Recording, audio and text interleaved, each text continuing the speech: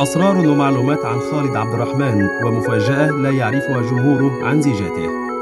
يعتبر خالد عبد الرحمن الدسري أحد أبرز نجوم الفن والطرف في المملكة العربية السعودية بدأ بكتابة الأشعار ومن ثم بالغناء والتلحين وقد بدأ نشاطه الفني في عام 1988 ولد الفنان السعودي خالد عبد الرحمن الدوسري في مدينة الرياض في يوم الثاني والعشرين من شهر أبريل من العام 1965 في أسرة متوسطة الحال مؤلفة من عشرة أشقاء إضافة للأم والأب. وفي العام 1983 توفي والده فأصبح خالد عبد الرحمن هو المعين لأسرته ولم يتجاوز الخمسة عشر سنة.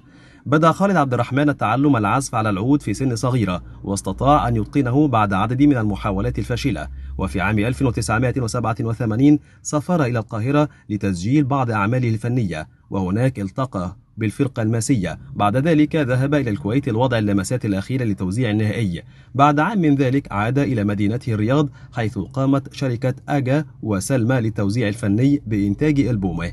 حقق هذا الألبوم نجاحا كبيرا. توالت بعد ذلك ألبومات أخرى منها بقايا الروح عام 1989 وأفراق في عام 1990 وفي عام 1991 شارك بمهرجان الجندرية وأنتج ألبوم بعنوان انتظرته. ومن ثم قدم ألبوم آخر يسلط الضوء فيه على معاناة الطفل ذوي الحاجات الخاصة وإهمال الوالدين له. عنوان الألبوم رسالة إلى معاق. في نفس العام أحيا حفله الأول في القاهرة حيث اتسم بحضور جماهيري كبير. بعد ذلك أصدر ألبومين آخرين بعنوان لو بكيت وموادع وألبوم وطني بعنوان جوهر بلادي وضم أغنيتين للمنتخب السعودي.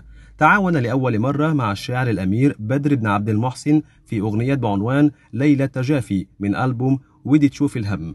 وفي عام 1995 طرح ألبوم بعنوان صفحة جديدة. بعد ذلك طرح ألبوم آخر بعنوان عقد وسوار. وتعاون فيه مع الشعراء مثل الأمير بدر بن عبد المحسن وطلال الرشيد وغيرهم.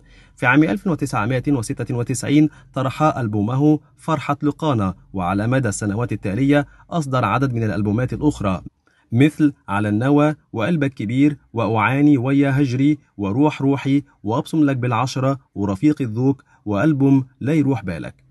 في عام 2016 صدر له ألبوم الحب الكبير وقام عدد من الجلسات الغنائية الفنية كان أولها على سبيل الذكر جلسة مدريد عام 1987 وهي جلسة نادرة وجلسة الرياض في عام 1988 ورغم من أنه أحاط حياته الخاصة بسياج من السرية إلا أنه في العام 2009 تزوج خالد زواجه الأول وانفصل ومن ثم تزوج في الأول من مايو عام 2014 من فتاة إماراتية من رأس الخيمة وليس لديه أولاد.